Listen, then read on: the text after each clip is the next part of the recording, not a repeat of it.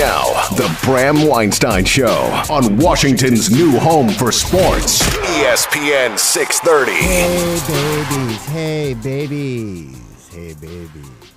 Hi, everyone. I'm busy. Hi, everyone. A lot of Ted Hi- noise today. Hi, everyone. A lot of Ted noise. Ted Day, Ted Day. Stop your talk about Benjamin Johnson for a moment. Benjamin Johnson. I don't want to hear any more about Benjamin Johnson or Robert Slowik. I'm done with all of it. We're going to talk about Wesley. We're going to talk about Potomac Yards. Mr. Youngkin, my friend. We're going to talk about that. How long did it take you to get through that email? Oh, I, ooh, yeah, I, you know me. I like all Ted content. You know me. I make, I make fun of them because I love him. I, I can't help it. I love him. You know I love him deep I had to down. the That that's first, what it is. Mm-hmm. I had read the first half, then go get a haircut, then continue reading the second half afterwards. Listen, considering he hasn't taken a single question from anybody about this, Sure. I will give him credit for this was a lot. He did put out Is a it, lot. though? It is. I I uh, I actually responded on LinkedIn, my preferred platform, to the letter and wrote I don't have. and wrote in a commentary there. You can go check my oh, check me. oh, I did. I wrote in a commentary that I would like to start by saying I still agree with this. I know I'm in the minority of it, but I do. But I would like to point out that transparency would be helpful here, mm-hmm. and I believe that it would be helpful and instructive for all of us if you started doing some interviews with independent media about this. Pick and choose who it is. Like talk to the Washington Post, talk to Kojo Nnamdi, talk to Tom Sherwood, talk to NBC4, do an extensive interview. Talk to me if you want. Do an extensive interview with independent media so we can talk about all of these aspects because it's a long conversation. And because, as you pointed out, he wrote a diatribe because this is a very, very, very complicated situation. He's trying to pretend it isn't actually, but it but it really is, and everybody knows that. So I appreciate that he finally put something out about it. Feels like a little daylight dollar short. It's the bare minimum. We're, Like, yeah, it is I the mean, bare that's minimum. what I'm saying. He did address most of the issues. Like there were very few things that he did not address, at least address in it. Now we could talk about whether he addressed them in a way that's satisfactory. Okay.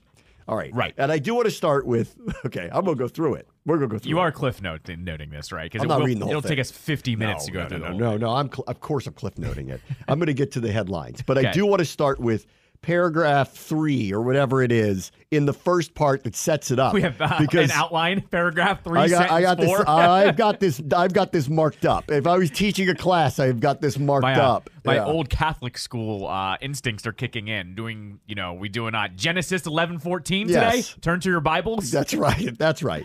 Turn to page four. We're going to skip the preamble. yes, right? right. Let's just all assume that we know who Jesus is. Let's just get to page four in the Skip first the about the- controversial yeah, moment. Skip the part about the stonings. Go- Correct. Go, go down. Go, down. down. here. Here's the part we're going to pay attention to. All right. So this is this is overarching, leading into why I'm going to explain everything to you. Paragraph that I thought was my favorite part of actually the whole thing, which was this. I believe in the DMV and will always be an advocate for our extended community. I keep that part in mind. That's a very important word, very important wording. Mm-hmm. He wants everybody to understand we're not going everywhere. We're one. Okay. So, so this is part of the sales job. It's Right. not Maryland District, Virginia. It's the DMV, and we're all one. Can I, can I, by the way, I'm just going to chime in here because it, it did occur to me today. We kind of made fun of the uh, boundary stone thing. Yeah. Because then he he said they they announced it and then they wore the boundary stone stuff. yes. But the boundary stones did also extend into Virginia for the original diamond. Uh huh. People were making fun of that. Now uh, it occurred to me today. This has actually been like in the works for a while. Remember, you have the hoodie, I have the hoodie. It says DMV, DMV. on it.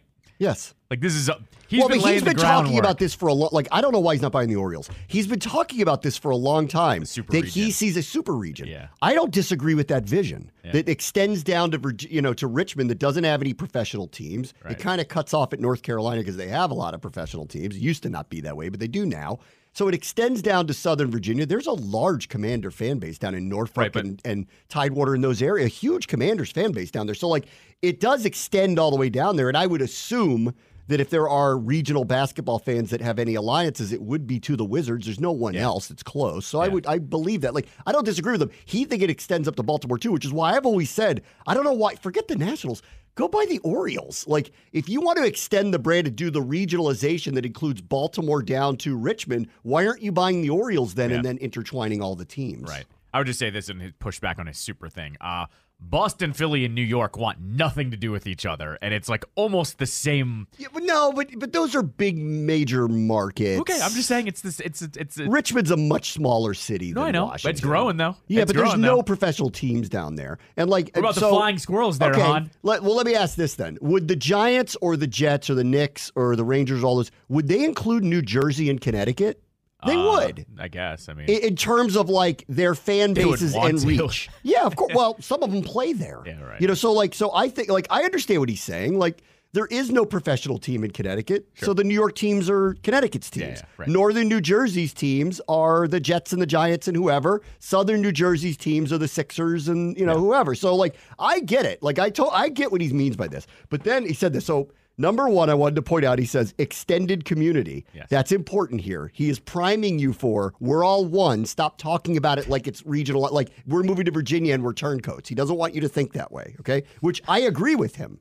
I go to Arlington all the time. I don't feel like I'm like invading. Sure. You know, like, I feel like it's part of my community. Anyway, he goes on to say this, and I loved this sentence. My goal is to always take the high road, and I believe I have lived up to that. Now, by saying that out loud, it means you want to scream at us. It does. It means that you don't like the criticism you've gotten and you've kept your mouth shut, but you just can't keep it shut any longer. And I waited once he once he wrote that, I went, Where's he going to yell at everybody? Oh. And he didn't really do that. He's a great writer. He's very measured in the way he writes. I- so, like, we'll go through it, but like that line got me because I'm like, how could the PR people have approved that? Because all you're saying is, I have wanted to scream back and clap back to everybody who's been yelling at me about this, but I've chosen not to do so. Give me my points for that. And I was a little like, I hear you, but you don't need to tell me that. Like, it's like when you have a fight with your significant other and they go, I've wanted to say something to you about this for a long time. That's right. Yeah, well, yeah. why didn't you? Correct. How about that? I, I Yeah. will say this because you even said at the beginning of this segment it's a little bit late, but I give It is. Ted credit here for letting it fester for a little bit, letting him feel his feelings, and then putting out in a way where it's not attacking.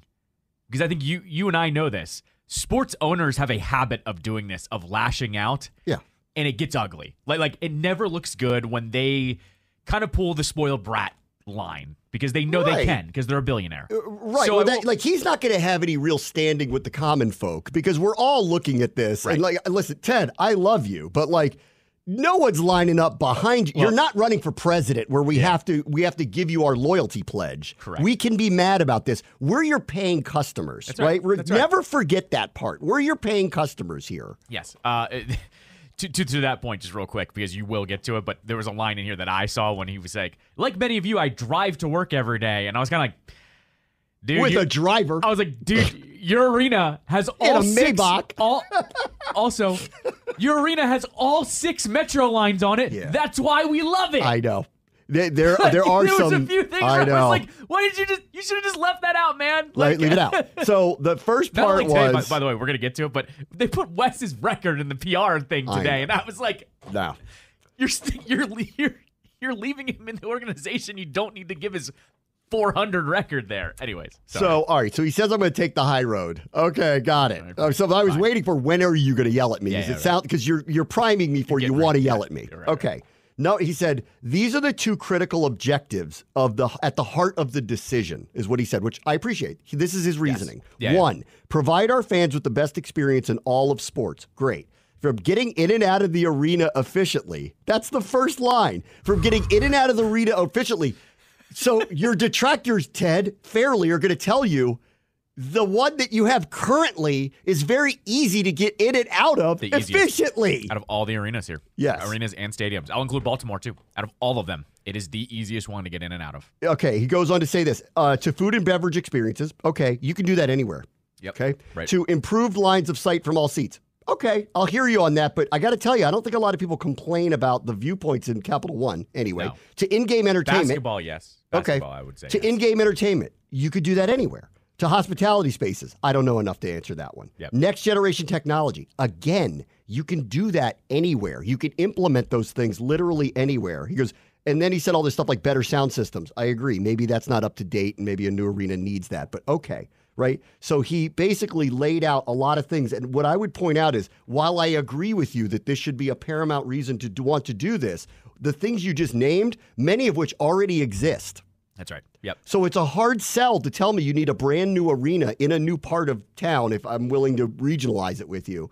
Because you need the things that you could easily implement into your stadium now. Yeah. Food and beverage experiences, you could do whatever you want there. You have the arena, put whoever you want there. And in fact, it's not I- hard. I would actually say he's done a upgrade the upgrade the the technology and access to Wi-Fi and all this stuff. Why can't you do that there? What what Verizon can't do that for you? Like what are you talking about? I would argue Yeah. this too. He's done a great job rotating stuff through that arena. Like it's Yes. actually it's actually if you go, let's say you go to Capital One Arena and you don't go back for 2 years, it tends to be actually very different from the last time you went. There's a Yes. lot of rotating things, a lot of different He does the kiosks now where you don't even have to swipe your card, you just go in and grab. It already exists. That's what I don't really I, I agree. Uh, number two reason for the for doing this is establish a best in class set of facilities for our athletes and employees. Great, it's a good reason, and I agree with this part of it. They have, whether you want to hear this or not, outgrown the footprint there. Yes. Okay. Yep. And I agree with them on that, which was part of the reason why I've been on his side about this. Going, look, like we're in a new age of sports. Real estate's a big part of the whole thing. You need a bigger footprint. People go for you know these lands now. Yeah. Um, and for them to grow and to remain competitive on this landscape, you are going to have to do that. And I know a lot of people don't want to hear it. And would it have been awesome if they just went to the RFK site? Sure, I think it would have same pro, you know same thing. But like, I hear him on that, and like so on this part of it, I agree. But he does mention this one thing, and is the one thing that everybody's very concerned about.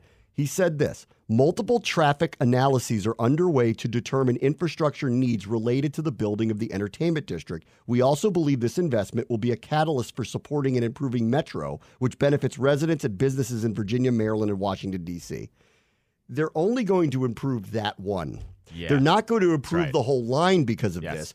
Like, as the Metro people made it very clear when this came out, because they were surprised by this. They said, you know, no one talked to us because we would tell you it can't support what you're talking about. Correct. And therefore, you'd have to invest X amount of dollars, which is probably why you didn't talk to me about it first. But at least he's acknowledging that it has to happen because when he says in the first one, we want in and out of the stadium being a big function of what we do, you already have that. Yeah. In fact, I don't know that you could do better with where you currently are right now Yes. with the metro access and the availability of parking everywhere.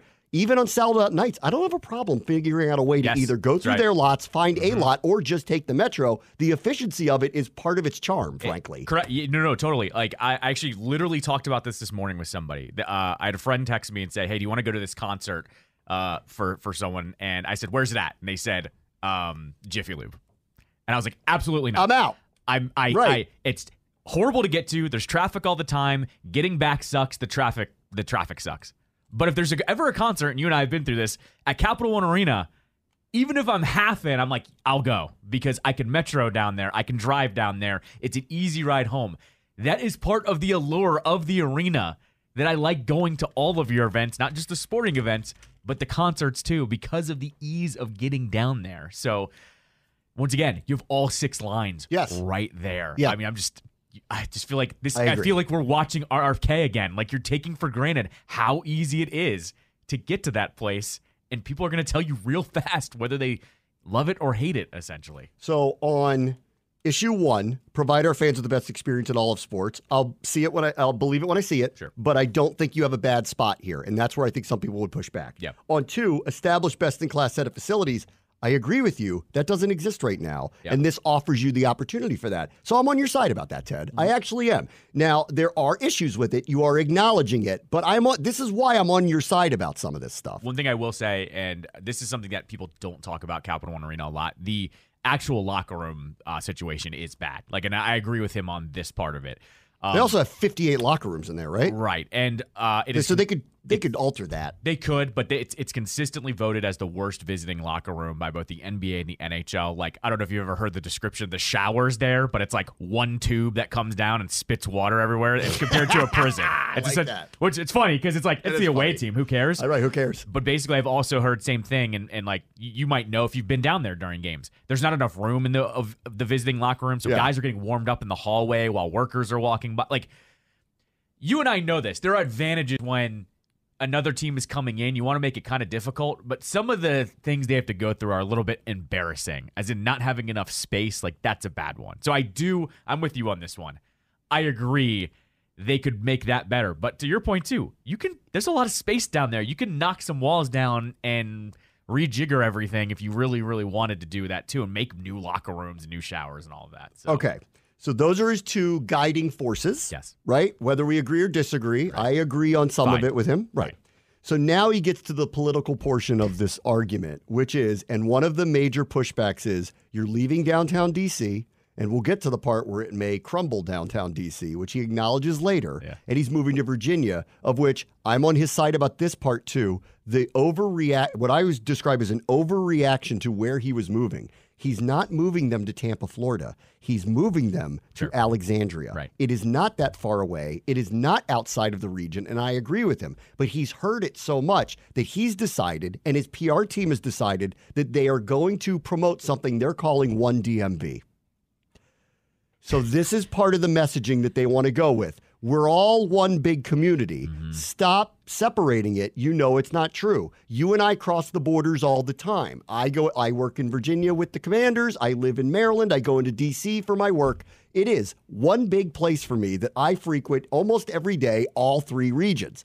And I'm not unusual. A lot of people do this. They live in Virginia and they work in DC. They live in Maryland, they work in Virginia.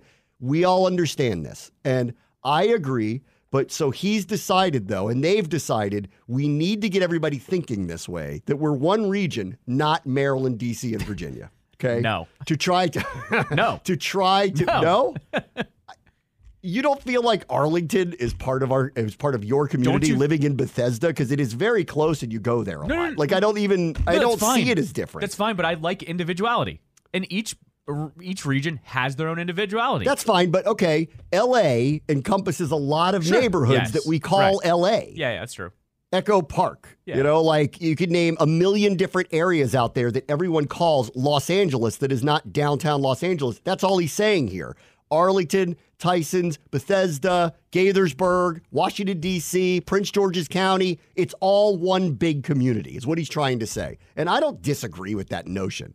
But the fact that he has to try to point it out tells me that more people are like you going, uh uh no, no, no, player, we're not. And you are moving them out. But he seems to need to. He seems the the need to try to convince people that he's not, which I on I'm on his side on that. I don't believe that he is. Like I don't feel like they're moving very far away. They're just going to a different locale. This is though this is like a problem with like society in general though, and I think some people would agree with me is like don't paint us all as one generic place. There are these nuances. There are neighborhoods like me growing up in Maryland, my experience was different than the kids in Arlington or were different from the kids in DC. And in DC, in fact, DC, you've got like all these different wards. There were a ton of different walks of life, all within a Yeah. a very small radius. So I'm just I, all I'm saying is I don't like it to be painted as one area because it is actually really really unique. You know full well people that grew up on Capitol Hill completely different than the ones that grew up here in Friendship Heights. I mean that's like a that's a different animal. Sure. So I'm just So, saying. I'm just right. saying. I don't like that that it's, he's trying to make it one brush stroke. Is all I'm saying. on this DMV idea.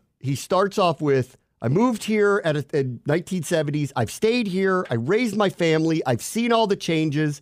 He points out that they've already done things with the teams in the various jurisdictions. True. Nobody's freaked out about Who that. like that, the practice facility for them was in Odenton a long time ago, and then suddenly it's in Ballston, and it's a beautiful practice. So he's like, we've kind of done this already. You know, the Capitals played in Maryland for a long time. Now they play in Washington. Like, so he's he's priming all of that. And then he wrote this, which you thought was funny. Like many of you, each day I when I drive to the office, I pass through Maryland, Virginia, and Washington, D.C. I believe our region is uniquely positioned to compete with other large metropolitan areas. I would describe it as we already do. But we- since when do we not? top ten market? We're like top five. Like, since when do we not? Are, but anyway, he's trying to say, like, I don't believe we are second fiddle to Chicago, Los Angeles, or New York. We're the political center of the universe. Like, Right. I don't. What are you talking about? Anyway, he said this in the DMV. If one wins, we all win. This was true with Amazon HQ2, and I believe it will Not be finished true. yet. Not true, right. And I believe it will be true with our project as well. Okay. No. Bad example. Bad example. like terrible example. really bad example. And, and this is where, you know, I respectfully, Ted, you own sports franchises. You don't own the largest global commerce company right.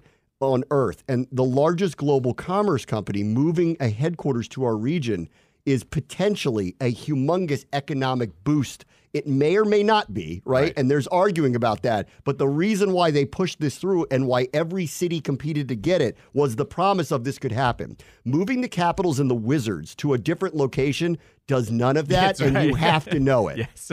It- the people who go to your games are either going to go in Washington or go in Virginia. It doesn't change that. That's right. We are you are not turning this into some kind of TikTok competitor. It's not. so like don't like you're going to have a hard time selling me that this is HQ2. It is not HQ2. Amazon moving there changed the literal name of the area. That's right. It's literally region altering movement. Potomac Yards ain't becoming having them anchored here, having a global economic Right. power anchored in our region potentially changes economics regionally for us. Moving the capitals to Virginia does not do that. they, they will Yeah. not rename it Monumental Yards. no. no. All of a sudden, the Capitals and Wizards are the bastion of economic growth. They're not. They're not. They're the bastion of economic growth for you. Correct. And that's why people don't want to hear that part of it. Mm-hmm. I understand the reasoning to do this. I agree that I'll still go to the games there. It doesn't bother me where, where they're locating it. I don't know if I'm going to drive there or not. You better fix that traffic part of it. However, don't tell me that this is on the same level as Amazon. Ted, you got to get out of your bubble if you think that way. Nobody's going to agree with you. That's right.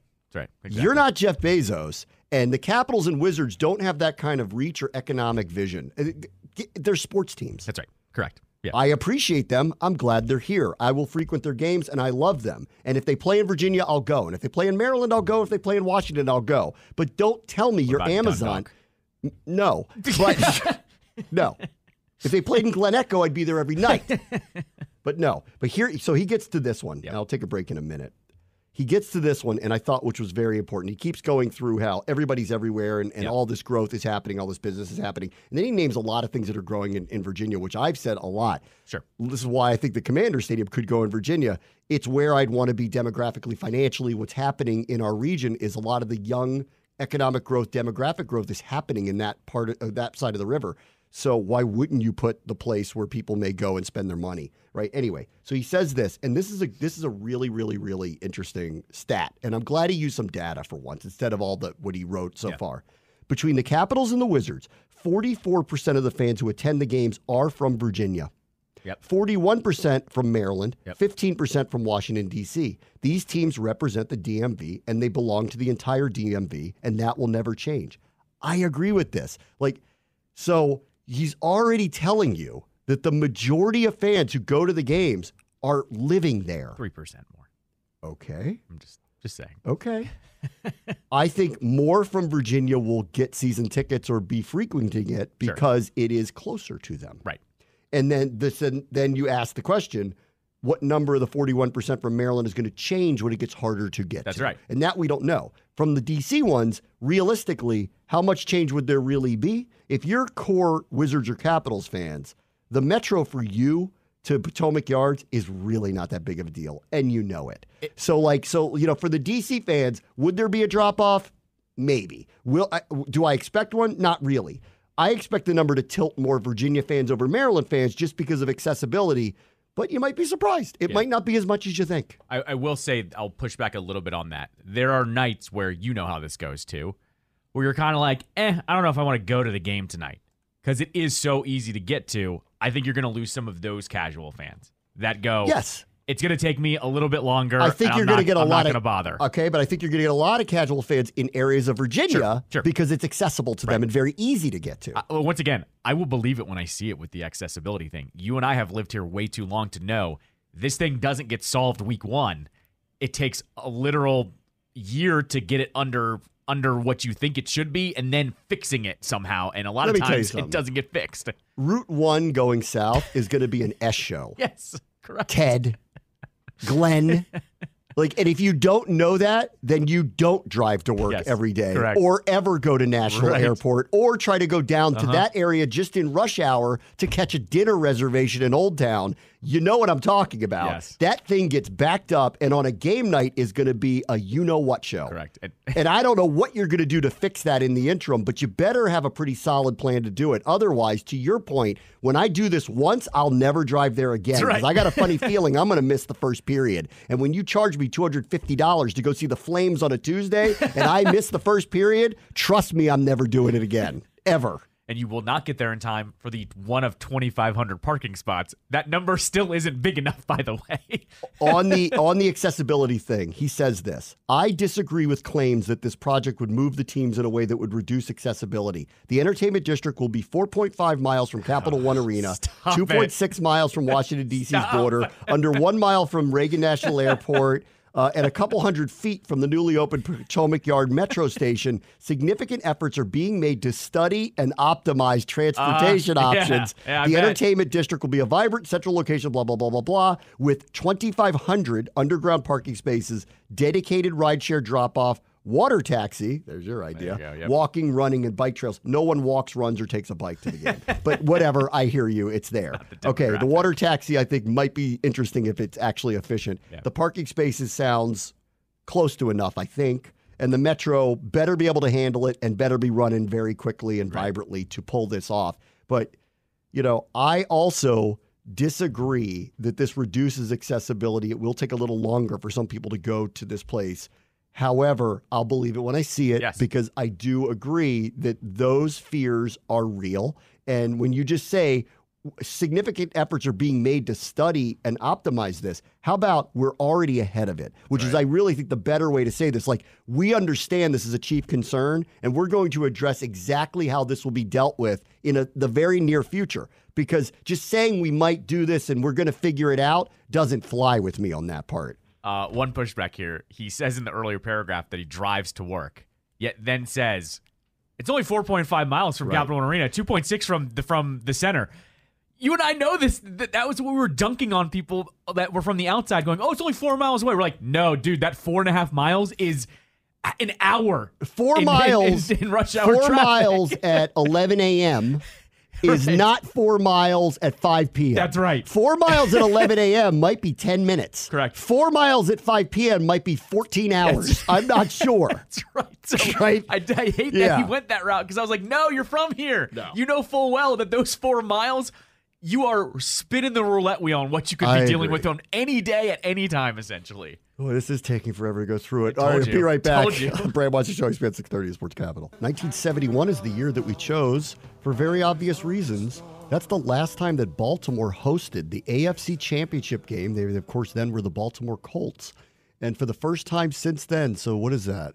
53 years. Yep. 53 years later, the Ravens are going to host it on Sunday against the Kansas City Chiefs in a showdown of heavyweights. Which is crazy considering they've won two since getting here, won two Super and they've been yeah they've been in the playoffs a number of times yeah. they've just never hosted the afc championship Yeah. so they get this shot here this weekend that's right han what was going on at pickles in 1971 I don't think pickles existed. uh, did it i don't know who knows I i'll have to look know. that up I don't know. it smells like it existed in 1971 It smells like any dive bar. i'm saying that as a compliment Yeah, yeah, no. totally, i'm not saying that as a criticism I uh, I almost bought tickets because someone mistakenly listed some lower level tickets for less than like three hundred bucks. Oh. and I was like, Did you do it? Nah, because we have our remote on Sunday. i'd so, let uh, you go early Yeah, take fine. off go It's fine. I, I didn't know what I would have done at the Mm-hmm. game because I, I can't really like root for them. They're not my team. Yeah, but you're going to the AFC Championship I know, game. That I doesn't know, come around too know. often, as exemplified Right. by 53 years. right. Last time we had it here, 1991, the Detroit Lions were here. right. And then the that's the last time that the Lions had gotten this far ever, home or away. And here they are heading off to San Francisco this week. My buddy who's a Ravens fan was like, dude, you could have worn just worn all black and an Orioles hat. You would have been fine. I Yeah. was like, yeah, you're right. You're right. Uh, let's see. Let's go back to Ted's letter, everyone.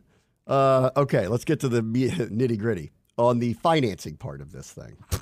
okay. Sorry. Didn't mean to laugh before you said Public private partnership is how he describes Uh-huh. it. Sure, pal. He says this The entertainment district in Potomac Yard will require no upfront cash commitment by the Commonwealth of Virginia. No new taxes will be imposed on residents or businesses in Virginia. The Commonwealth will own the arena and will use its AAA credit rating to issue bonds to raise funds for the construction. The bonds used to pay for construction will be paid back through lease payments paid by Monumental Sports and Entertainment, user fees for patrons and the entertainment district, and taxes generated by the district, et cetera, et cetera. Further, Monumental Sports and Entertainment will contribute over $400 million to the project. This ain't free. Don't tell me it is. right. But, you know, if that is all true, and I need to hear from the politicians, Yeah. if that is all true, no new taxes, and we are going to generate the money by, you know, putting out bonds and they will be repaid by lease payments.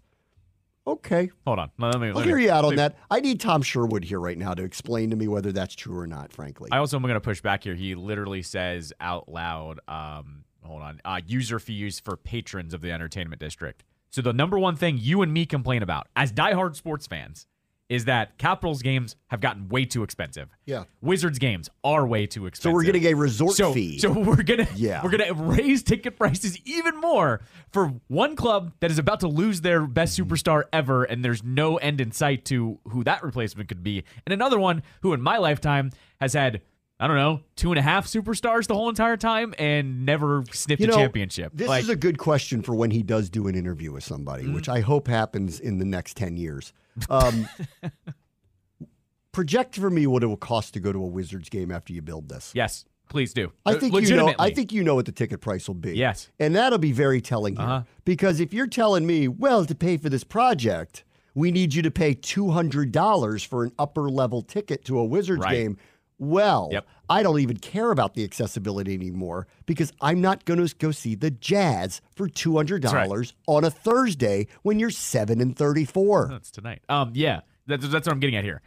It's already expensive enough to go. So now you're saying, for me, I'm just saying, and, and I live in Bethesda. I'm not out on, you know, near Shady Grove or Glenmont, where the furthest Caps fans come from. And there's a lot of Caps fans that come from both of those metro stations.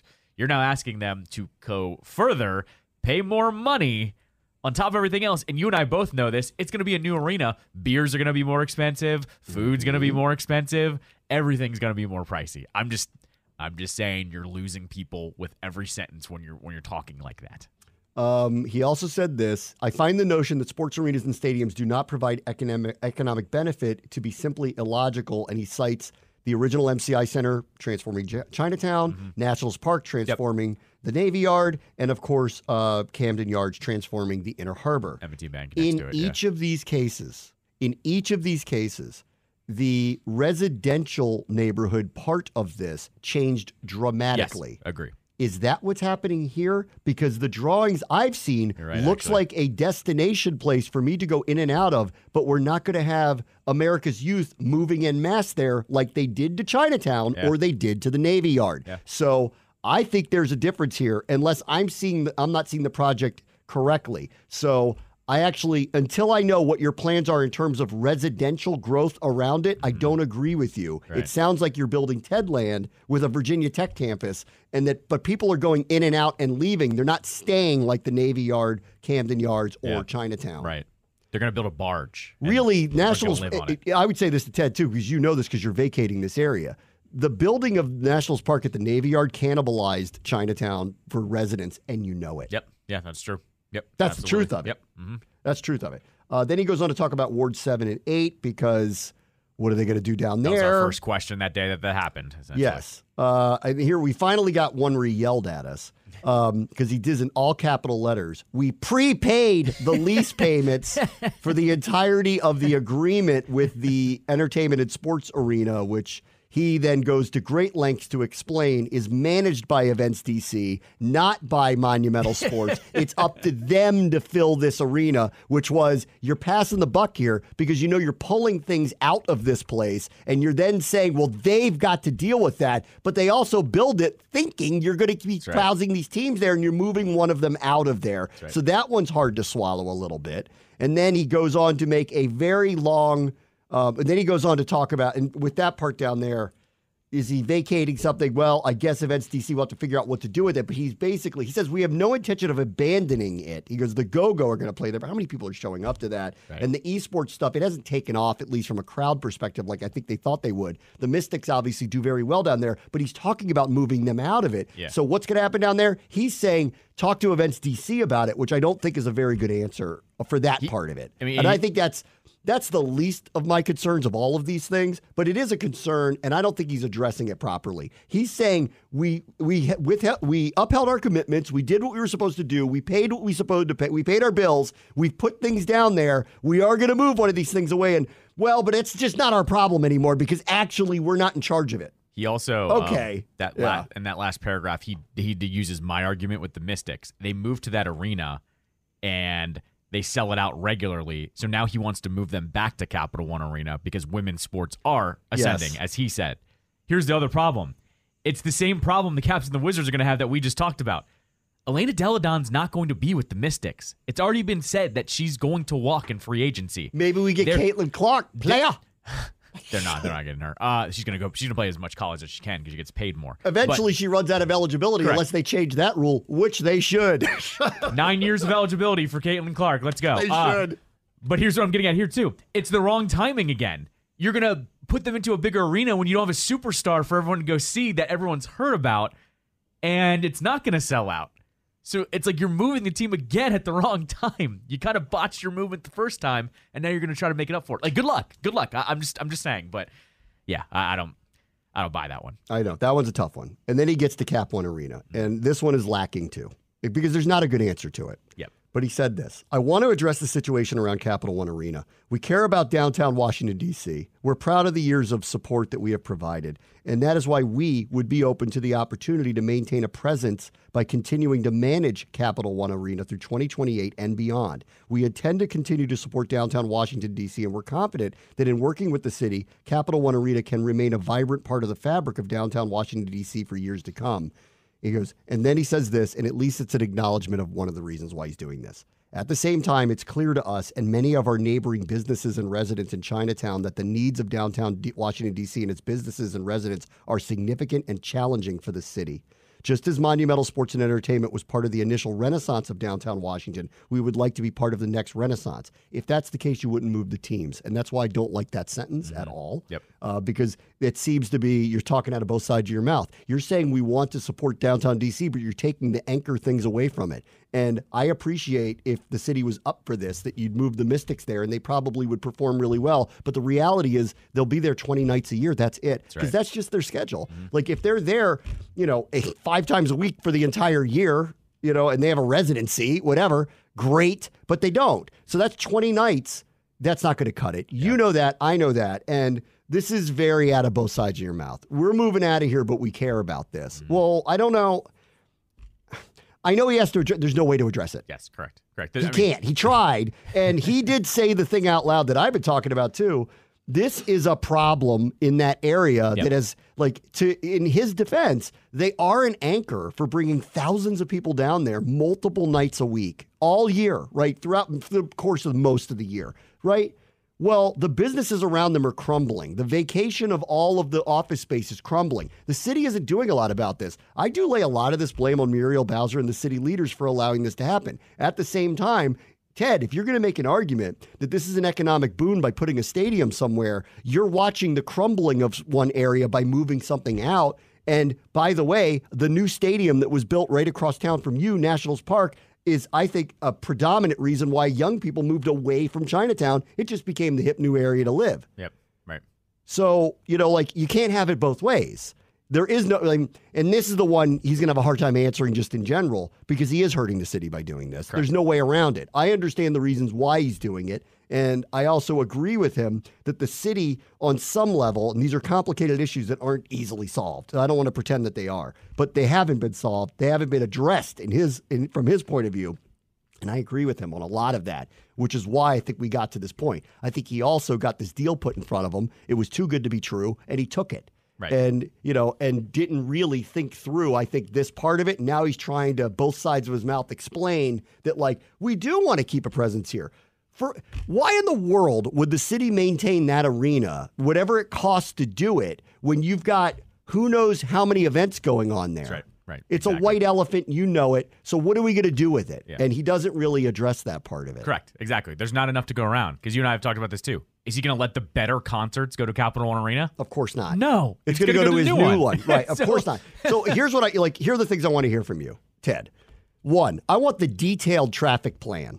Yes. What are I- you I think- I- actually doing? That's literally the most important part about Okay. this new arena. Seriously. One, that's one. Detailed traffic plan. Two, explain to me how much it's going to cost to go to a Caps or a Wizards game Mm-hmm. because you and I both know we're footing the bill for this. You could say it's not through bonds and right. this and leases and that. No, it's going to be in ticket prices and concession prices. What will it cost me to buy four tickets to a Capitals game when you move there? I know you know the projections. Tell me. Yeah. You know what the salary caps are going to be. You know everything. you know what it's going to cost to do this. You tell me what I'm paying to make this happen. And then three, I want a detailed plan of what we're going to do with Capital One Arena that makes sense for the city. Yep.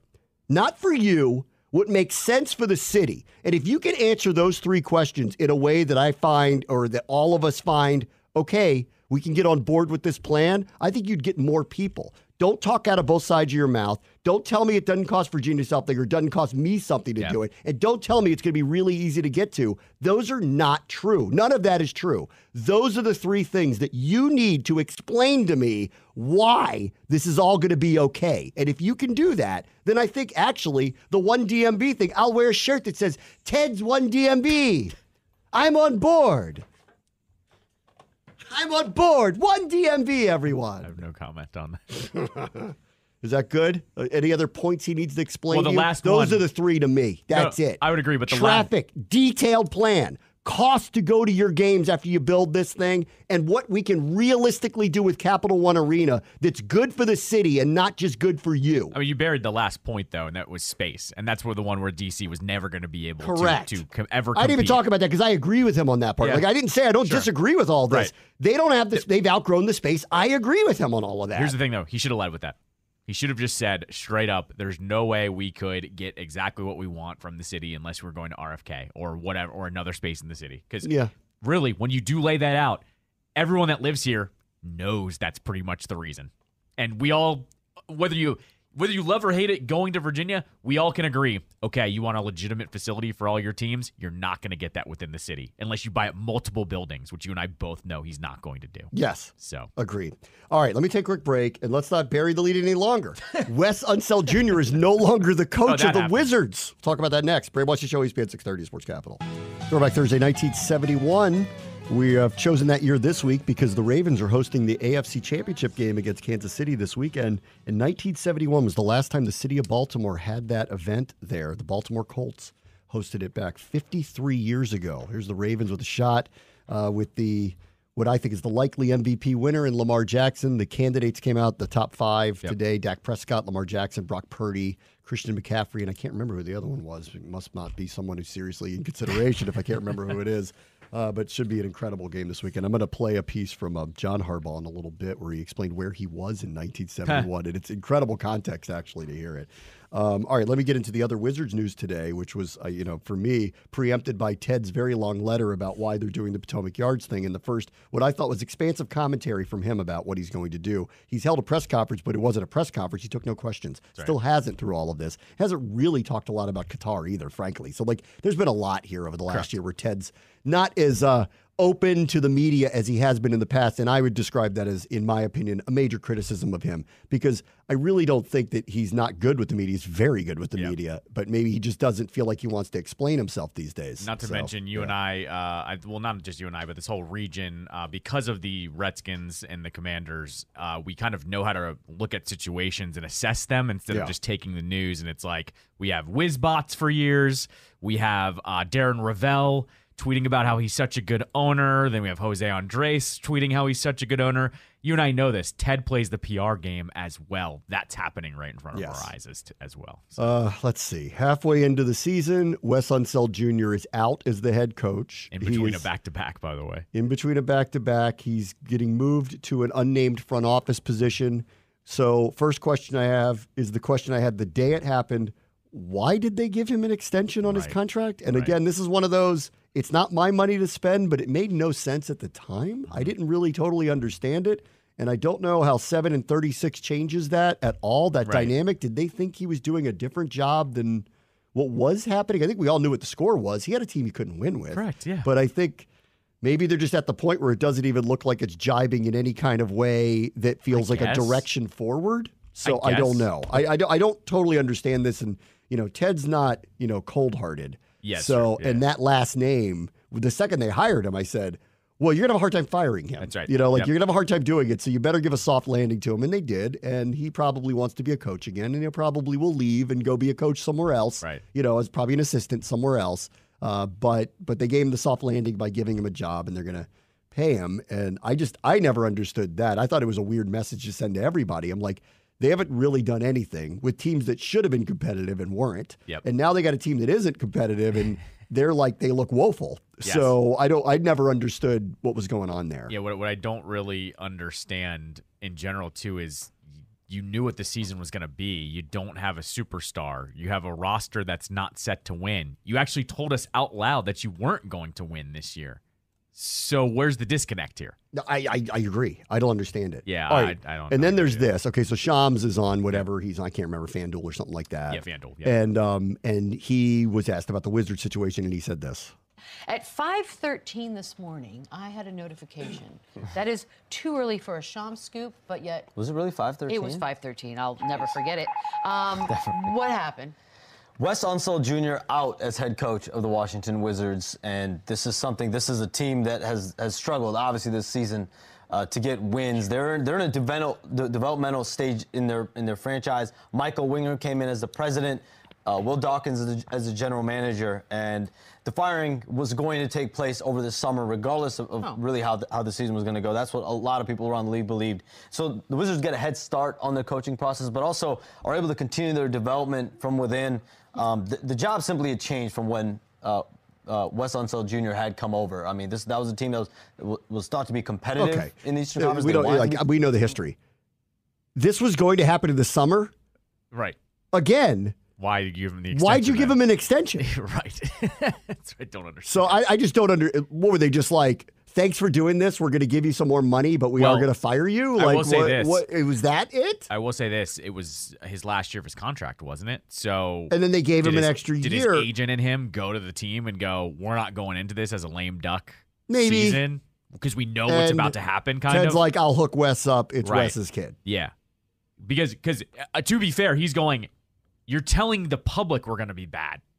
How do I how do I get better as a coach this year? I, I guess, but you know, it it is it is show me like with the process stuff with Brett Brown. yeah.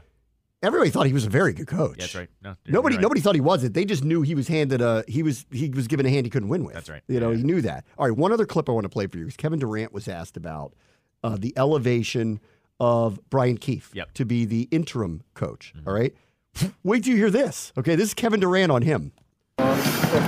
Thanks, man. Some of the best, probably the best memories I had so far in this league. You know, he taught me everything I know about you know work ethic, being a pro. Uh, he wouldn't take any credit for it, but he taught me everything I know. Uh, as far as how I approach you know, shoot arounds, practices, games, you know, workout sessions, you know, just everything. Just changed my, my mindset. And, since I was met him when I was 18, so since from 18 probably 25, you know, he's, he's been grooming me into, you know, the player that I am today. So I owe a lot to him. Like I said, he probably won't take the credit, but he's, he's, he's the um, most influential guys that, um, that I know in this business and this game and in life. So you know, I got nothing but love and respect for, for uh, BK. I wish he could do an interview not next to Yeah, the practice, Yeah, yeah. but whatever. But okay, so this guy was part of the coaching staff 2012. It's been around a long time, right? And the 2012 Thunder coaching staff, they got to the finals. That's when they still had Yep. Russ Harden and KD, young players at the time. Um, and so I'm like thinking about this. I'm hearing Kevin Durant say this. He taught me everything I know, big part of my growth and maturity and potential and all this stuff. He's on the staff here now. Yep. Winger and Dawkins came in Dawkins straight from the Oklahoma City situation. Yeah. Why didn't they make him the head coach in the first place? After hearing that, it's almost like, why don't you just install your guy in the first place? If he's got this kind of reputation working with players, you know how he works because you've worked with him intimately. What? What is this? Why? Because you had to try Wes, I guess. Really? I, I Because guess. by Ted directive. I guess probably. so I this was the one thing that Ted. Is this the Dan said you got to play Haskins? Yep, that's right. And. Ted said, "We'll give you all the leeway to do anything you want, right. but Wes is the coach." Also- and then it got to the middle of the season, and they're seven and thirty-six, and they went, "Ted, Well, while you're putting out this letter, you want us to deflect for you for a minute because it is time to do something like this." It's also no offense to to like Brad or anything, but the number one thing with Wes and bringing him in was what he got Denver to play defense really well, right? yes. And so I think everyone was kind of saying, with Brad out, let's see what he does. And instead, they're giving up 140 points to everybody. They So- also have an extraordinarily flawed roster. Of course. In- No, absolutely. there's not much to defend Wes Right. with, but on that part, like, come on, he can't win with this, and they have a ridiculously flawed roster. He has no interior game. yeah. So, I mean, come on. Like, there's only so much you're going to be able to do, realistically. Yeah. But to hear him say that, and then this guy's already on the staff and has this long history with the new front office and is known for working with superstars, and they openly talk about how great he is. It's like, well, why wasn't he the coach from day one then? Right, right. What I actually hate the most about this is that Phoenix is good again. And I had said to you, KD was going to ask for a trade by the end of the year. Yeah. No. It was ripe to come here. If he loves him so much, uh, Maybe. He doesn't want to come back here. That was his thing. You don't know And that? He, come back here and do what? And win with what? I don't know. Him and Bilal? That's Yeah, it? That's right. Him and Bilal. Let's go. Whiz, baby. I mean, I'd go. Yeah. Duh, we'd all go. I'll pay your $500 tickets, Ted, to go to that one. And I'll wait four, four and a half hours on Route 1 to get there. Can't wait. All right, be right back. Brave Bunch's Joey Speed 630 Sports Capital. This is a banger from 1971, Throwback Thursday. Tom Jones. Whenever you see Tom Jones on the list, All-timer. makes it every time. all timer. 1971 was chosen this week for Throwback Thursday because the Ravens are hosting the AFC Championship. And the last time that Baltimore hosted the AFC Championship game was 1971. It's the Baltimore Colts. You, you Amazing. might you might be the first person in the history of music to uh, describe "She's a Lady" as a quote unquote banger. From 1971, it was. Not anymore, but in 1971, I was correct. There was some gyrating going on there, some chest hair being shown that made the ladies go wild. Every time That I- would be nothing these days, but you know. But right. then in 1971, that was still a little risque. a lot of chest hair A lot of chest Tom hair. Jones there. lot of chest hair. He, uh, he- every time Tom Jones comes on, it reminds me of Mars Attacks. Do you remember Yeah. that? Do you remember that movie, Mars Attacks? Mars Attacks, yes. Yes, I'm just saying. He's amazing. yeah. Uh, I meant to do this last hour. Sorry. I'll do it right now. You want to win a trip to Las Vegas during the weekend of the big game? Enter now for your chance to win a trip for two to Las Vegas, which includes airfare, two night stay at the Fontainebleau, which is brand new out in Vegas, a $150 credit, two tickets to the Fontainebleau Las Vegas big game viewing party at Blue Live Theater. All you got to do today is text the word watch to 95819. That's watch to 95819. Standard messaging and data rates may apply. Contest rules at sportscapitoldc.com slash contests. All right, let's get into all the NFL movement today. Yep. Uh, with all the stuff that Ted did, boy, he just took up the whole hour, didn't he? Wesley is moving to the front office. I'm not concerned about parking or transportation. I think DC is going to be vibrant forever. Okay, I want to chime in on one more. And thing. Wizards games are going to cost $800 a piece. I want to chime in on one more thing too. Uh, 2,500 parking spaces, and you already told me we're going to be footing the bill with a little bit of fees there.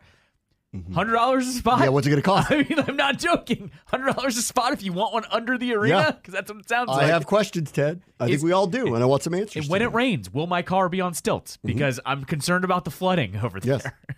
Uh, let's see. From the NFL, let's start with the news today. Yep. The Panthers' job is filled. Dave Canales, who is the offensive coordinator in Tampa, and you know, I think is clearly is doing something right. Yep. He's the one that was in Seattle last year, and Geno Smith's career turned around and had a Pro Bowl caliber year, and Yep. the Seahawks ended up in the playoffs, and.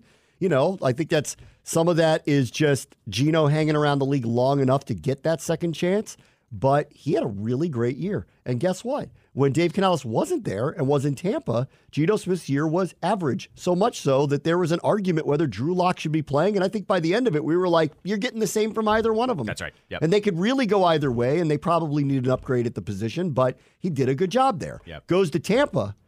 Well, Baker Mayfield looked like a real starting NFL quarterback, so much so that they win a bad division, but they won it. Yeah. They get to the playoffs, they win a playoff game, and oh, by the way, they scared the you know what out of the Lions on the road last weekend. And Baker has earned himself a big fat next contract. Yep. So laugh if you want at the Panthers, but I, I don't know. This guy knows what he's doing too. And guess what he's working with? A quarterback who needs to take a big time next step. This is different. Baker's been around the block a long time. So is Geno Smith. This is a different situation. But the hiring screams to me like they got a guy that they needed actually. Now, whether he has any power, whether he's going to get undermined, we've Right. lived that, you know, Yeah. because of the way the owner has acted. But in terms of just a pure hiring for what they need, it is hard to argue that they didn't pick somebody that might help Bryce Young take the next step. And that's exactly what they need right now. Not only was Baker great, he made throws in that Lions game that were the best throws I've ever seen him throw. Yeah. Like that last drive when they when they got before they got jobbed on the two point conversion, he had three completions that I was like, whoa! I've never seen that dude make those types of throws on that type of decision. You have to be you have to know what you're doing if you're getting Baker to do things like that. And are you gonna? I don't know if you're gonna agree with my conspiracy theory here. I think they moved on him fast because they know they're not getting Ben Johnson. I feel like Correct. that's that's my that's that's well, I think we're down to two for that one. yeah right Wait, exactly. It's us and the Falcons. Yes, Like right. I'm, I want. well, We can talk about that in a minute. Yep. But like, I agree with you. Like, this is a good sign. Yes. Mm-hmm. That this is in the bank. Like, like the Panthers. You know, I I was worried all along they're going to throw the bank at him, and therein lie because that's what Snyder used to do. right. Dump the money on the driveway. I dare you to say no to it. right. Well, it didn't happen. Mm-hmm. So they went and hired their guy, takes them off the board. This is good news for us because I think we know who we want. And the field is getting cleared more and more and more. It'd make me really happy if the Falcons just hired Belichick or Vrabel already. Right, but the fact that they have it says they're the ones we need to be concerned about. And then there's Seattle's job is still open, and they've been cagey. Yes. They're the ones that have been real cagey about. Like we've said, who we're interviewing. Uh, the Chargers went and got their guy. I'll get to Harbaugh in a minute. Yeah. The Panthers now went and got. They were quiet about it, but they went and got their guy. The Falcons have been open about what they're doing. Seahawks haven't said word one about what they're doing. You're not hearing anything. We're the last three, right? Seahawks, Falcons, That's it. us. Correct. Okay.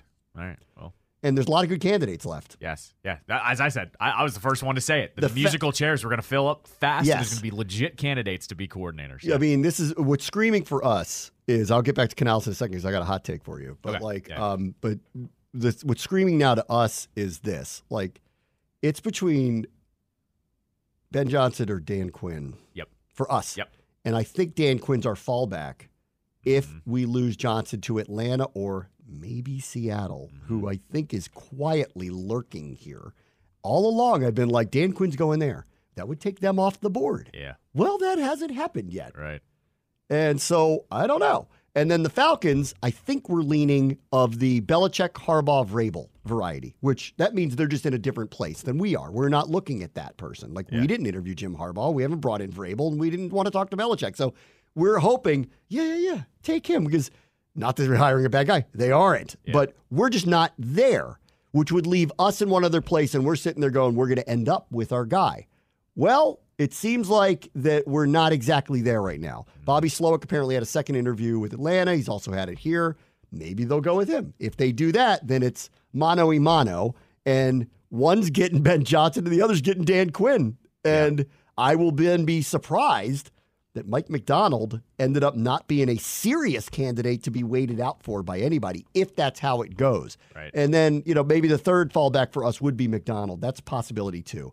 The way it's shaping up right now, we are either going to get Ben Johnson, who I think is the top target, and then either Dan Quinn or Mike Macdonald. The Macdonald stuff's been very quiet, but the fact that jobs are filling up and no one's waiting him out is a little surprising to me, actually. I do think it, there's a difference because with Macdonald, it feels like defensive coaches are just a set tier, a line.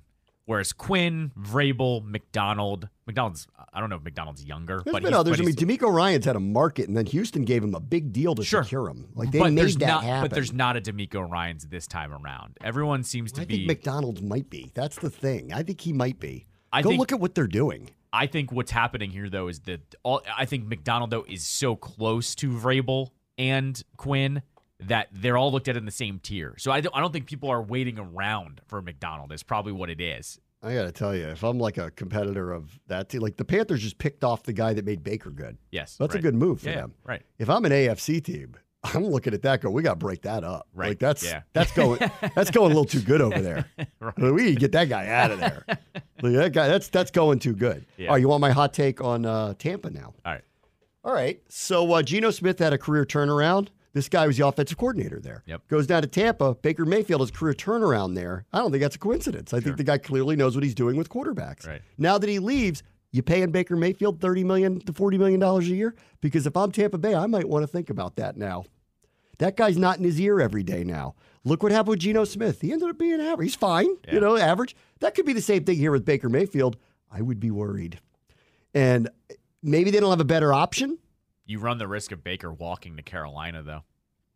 How? They got Bryce Young. No, no, of course, but you always bring a veteran in that Not for $30 million.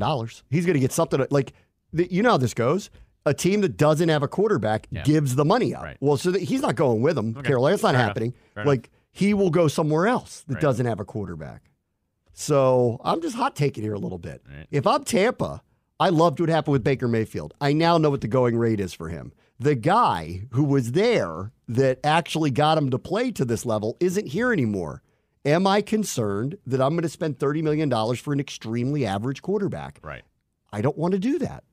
So watch them around the draft. Well, I see, that's this is where the draft should always go first because they got to make the decision in free agency. Yes, correct. Exactly. You have to make that choice before the draft comes around. because they could be players for Kirk too.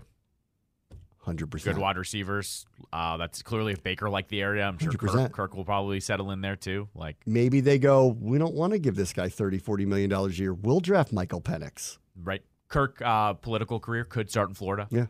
Oh, yeah. We'll draft JJ McCarthy. Watch. I, I, I think Tampa is going to have to be very serious about thinking about Baker now that this guy's gone. Seriously think about that. I think that's that's not that's not a bad take. Yeah. and they're also they're also their veterans are aging too. It's not like they have a bad team, but they're getting up Mm-hmm. Mike Evans might not be back. Right, they're Like- getting up there in age. Right. Mike Evans might not be back. Yep. A lot of those guys on defense, they're like Hall of Fame caliber players. They're all older now. Yeah, right. Like they already went through a cap hell situation with Brady. Yep. So they're kind of through the other side of that. I don't know. I don't know what the right answer is. You know, like the easy answer and the logical answer is look at the year he had. We found our quarterback. Let's bring him back. I've seen this before. You think he's going to ascend to be a great? Because I actually don't. I think he's turned into a good professional quarterback, but he's not great. But now you're going to pay the rate for him to be that way. I might, I might argue, nope, we're going to let you walk. That division is so funny because I don't think anyone wants to have a quote unquote reset year because the division is so winnable. I think that's the Yeah, funny part. I think that's the funny part about it. I think Well- like like if the, if the Bucs were in the NFC East and it was the Cowboys and Eagles ahead of them, they'd probably go, "Let's take a year to hit the reset button. We're not going to rebuild." But if I'm Baker, I call up Atlanta tomorrow and go, you don't want, they don't want me. I'll go to play with you and your Right, skills position right, guys. Right, but they're also, eh, but and Tampa's going, man. If we lose this division, it, it's a bad look because it's very winnable. Like I, I think mean, that's the funny you part. know, are they someone that would think about trading up? Are they someone who would sit back and wait for McCarthy or Penix? Right. Maybe. Maybe, Maybe. I could see it. Yeah, I could see that. Um, as for Jim Harbaugh, you know, worst kept secret. He was coming back to the NFL. He wouldn't answer questions about it, you know, like going into the championship game. I don't blame him. Right. Um, he, you know, won't really answer questions really about anything. The Chargers brass was asked, "Will you spend money?" and they had to yell and scream that they will, which everyone knew what that meant. Um, this was, you know, everyone believes this that you walk into a good situation with Justin Herbert. You know, it's different than some of these other places. You do have a top tier caliber quarterback, so you turn things around there. It can turn around fast. They got a basketball team for skill position players. I think their defense is underachieved, and um, Boy, that's a that is an incredible division now. Yep. Andy Reid, Jim Harbaugh, Sean Payton are all coaching in it. crazy. I wish Antonio Pierce a lot of luck with Yeah, that. good luck That's with a, tough spot. I mean, these are all like Two of them have won Super Bowls. One of them's won multiple Super Bowls. The other guy was in the NFC Championship three years in a row and has won everywhere he's been and just won the national championship. Right. Wish you a lot of luck with that. That's going to be tough I hope Harbaugh goes after Bieniemy. I think they'd be a match made in heaven. to be the offensive coordinator there. Yeah. Yeah, that's interesting. I don't know. I mean, like Jim played there. Bieniemy obviously played there. Yep. Um, I haven't heard much about him and where he's going to go. saying, I I- actually saw my boy Nagandi tweet out that he thinks the Eagles ought to go after Bieniemy as the offensive coordinator Ah. since there's an opening there and since Nick Sirianni has been neutered, like in all of his like like duties, which was pointed out to him publicly by the Eagles media yesterday. I'm going to get to that in a bit too because that was one of the most. aw- Did you see any of this? I didn't. I didn't. This was so awkward. It's it's impossible to describe how awkward this was yesterday up there, where they're trying to explain what he does now. Oh God. It was pretty bad. Anyway, um, Oh, I was listen, say. I think the Chargers. It's a home run. Yep. If any of their fans don't think this is a this is the polar opposite of what they just had in a coach. This guy's won everywhere. He might be really salty, and you may, after a couple of years, be like, I can't even be in the same room with this guy. Mm-hmm. But I guarantee you, they're going to be way more competitive than they've been. And I bet with that quarterback, they win a lot. I'm complete opposite. Oh, you think it's going to go south? I I don't. He's never gone south, though. That would be a first for him. He has won literally everywhere he's been, and he's won big literally everywhere he he's been. such a weirdo for LA. I agree. It's a weird mix. I'm just saying. I I just I have a bad feeling about it. That he and Herbert. Herbert's very chill. He's not. They're complete opposites when it comes to that. Like Harbaugh to me, in the best way I can describe him possibly, is the cult leader that offers you the Kool Aid. And if you don't drink the Kool Aid, you're on his bad side. Yeah, probably. but it sounds like most of the time people get on board and drink the Kool Aid. Look at what happened in Michigan. That was a cult by the end of the year. Correct. They were weird. But that's that you're right. But that's college kids that are easily influenced and buy into the M on the side of their helmets. I mean, I the hear- M on the on the shirt. I Did you say. think that okay? Is San Francisco a place? You But thought his dip- personality would it's- jibe? It's different though, even from 10, 12 years ago. You know this. It's already become even more of a players' league now. All it takes is a few of those guys to go, I'm not messing with this joker, and he's gonna lose the locker room. I I don't buy it. I'm just saying, I don't buy I think he's and and any of those guys that do that, I think he'll just eradicate out quickly and go. Sure. You guys haven't won anything. Sure. I think that's fine. So go ahead and tell me. Okay. I'll sh- let me. He's going to throw the rings on the table and go. Oh, you guys don't like what we're doing here now, and, and like, and he's what Super Bowl rings though? It's been pretty darn close. I know. I Those know. players on that team haven't won jack nothing. Sure. They like barely make the playoffs and blow huge leads to Jacksonville. That's the closest they've come to sniffing anything. That's fair. Right. That's fair. So it's the same thing like you know, like on the Bieniemy thing, where there's always an argument. Was it too much? You know, was he too pushy? Whatever. Like, you know, was it too much? I would argue y'all haven't won anything, done nothing. You've been ranked in the bottom third in offense. Who are you to tell him with his Super Bowl rings? Oh, it's too hard around here. Oh, really? Sure. Is it? Right, right, right. So I think Harbaugh's gonna come in with the same thing. But you know, in the end, everybody falls into the cult of Harbaugh with him. I don't know how and I don't know why, and I kind of want to be a fly on the wall for it because he seems like the type of dude that wouldn't get people to buy in that way, but they have over and over and over. So to me, all right, we can disagree to this. I think it's a home run, and I think they will be far better next year overnight. Like uh, this is not a rebuild. Overnight, they're going to be way more competitive than they were. To me, best case scenario, he is the in between basketball coach that resets the culture, gets those guys close. They eventually fire him for the next hot head coach, and that's hmm. who gets him over. That's, I think, the best case scenario. Okay, When they walk in the first day, it's going to be do you want the blue Kool Aid or do you want the yellow Kool Aid? yeah. That's going to be day one. Okay, what's your general reaction to Dan Quinn third interview here scheduled for next week? Is he 1A if Ben Johnson doesn't take the job here and selects either Atlanta or Seattle? Cuz like Seattle's been cagey Yep. here. But it sounds like maybe it's a, if Atlanta strikes out on the big names, which is sounds like well, it sounds like they could get Vrabel. Mm-hmm. Yeah, Like, right, right, yeah, yeah. If they want Vrabel. Yeah. But if they if they decide they don't want Vrabel now, they're clearly going to eye Ben Johnson. So if we lose on him, is that what it is now? I Dan so. Quinn's one A so. I think so. I think it was over uh, Macdonald, I guess. I think it was uh, uh, Chris Russell who I saw tweet that there that Dan Quinn was the one, not the one, but was mutually interested. Like he was interested in this job. And once again, Yeah, people don't know that part. That a lot of the coaches go through this process. They always say like, "Oh, they passed him over." You know, a lot of them go into it going, "It's nice to meet you. Yes. I'm looking at." Yes. And so what It's I'm, mutual that like the two sides have to agree with one Exactly, hundred percent. And so that's where I've kind of perked up with Quinn.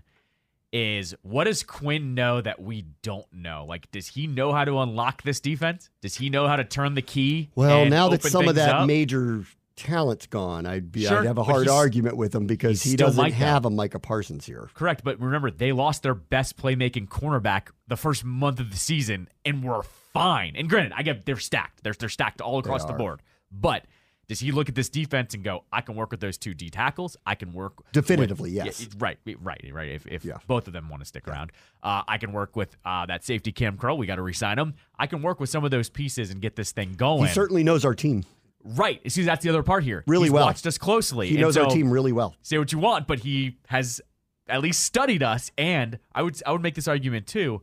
I think he's probably looked at the offense and go, I know who can unlock that offense too, with whoever the quarterback is. Well, I want to know if we're going to hire him. I want to know who the coordinator is. Of course, yeah, big yeah. time. Yeah, of course. because we're drafting a quarterback, Yes. guys. Yeah, yeah, I mean, right, like right. that's happening. Sure, but here's the thing too.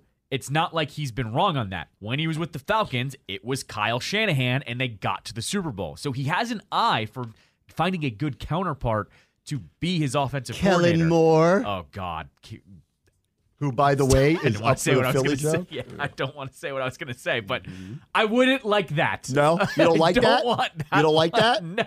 No. Yeah, I think um, this reads to me like he is one A actually. Yeah. Right. I maybe this Mike Macdonald guy is either not expressing a lot of interest in other jobs, which is possible. Sure. That's what Ben Could be. Johnson did a year ago. Could be. Or um, isn't interviewing very well because these the everybody's waiting on this Ben Johnson guy, right? Yes. No one seems to be waiting on him. People could be. That's maybe Seattle. Maybe that's what Seattle. Maybe Seattle's waiting on him. That's what could be happening. Here, also, though- I just don't know what they're doing. I know what Atlanta's trying to do, and I know what we're trying to do.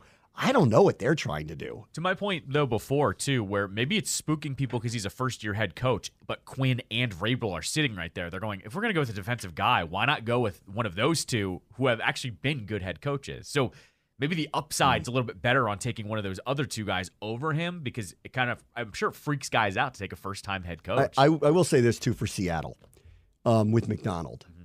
Look at what he did to San Francisco. Yep. Look Yep. at what he just did to Houston. Mm-hmm.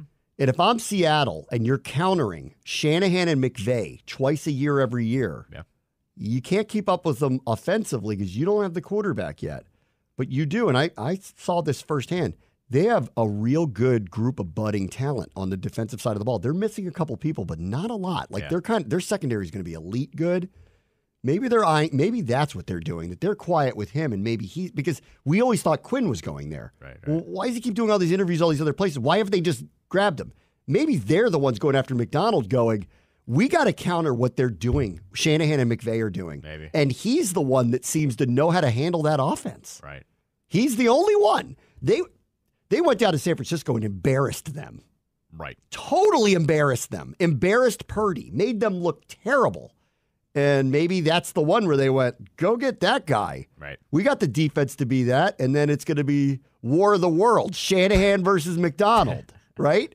War of the Worlds. Could be.